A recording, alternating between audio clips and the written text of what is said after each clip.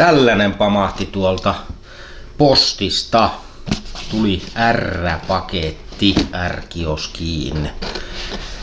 Ja tuota, tuota, tuota, mulla on nyt tieto mitä täällä on, ainakin noin niin kuin suurin piirtein, mutta katsotaan. Täällä on nimittäin sellainen tuote, tuotteita, joita minä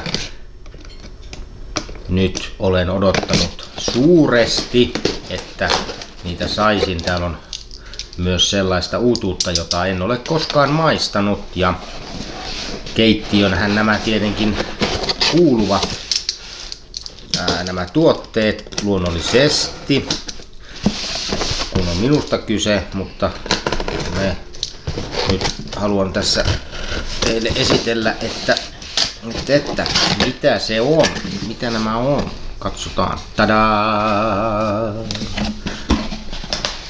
Kuin joulupaketin avaisi. Harivoa. Hypäs mukava yllätys.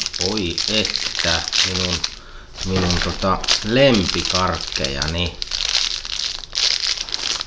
Mutta jännitys tiivistyy. Täällä on tämä itse satsi. Otetaan siitä varovasti auki.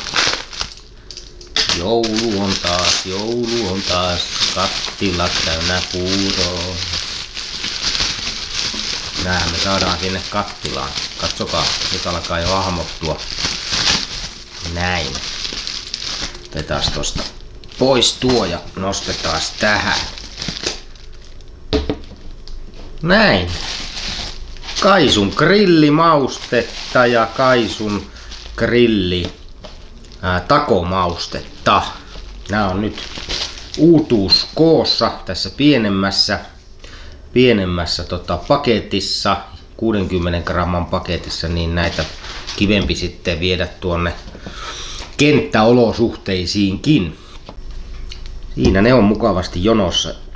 Sasta malasta Kaisun, Kaisun mausteita ja olen nyt suurella innolla tätä takomaustetta seuraavaksi kokeilemassa.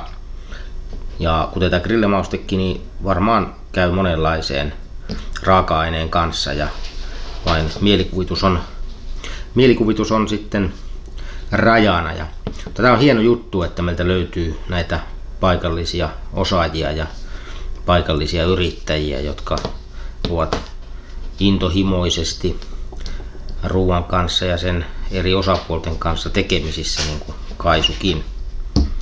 Ei muuta kuin suosittelen testaamaan.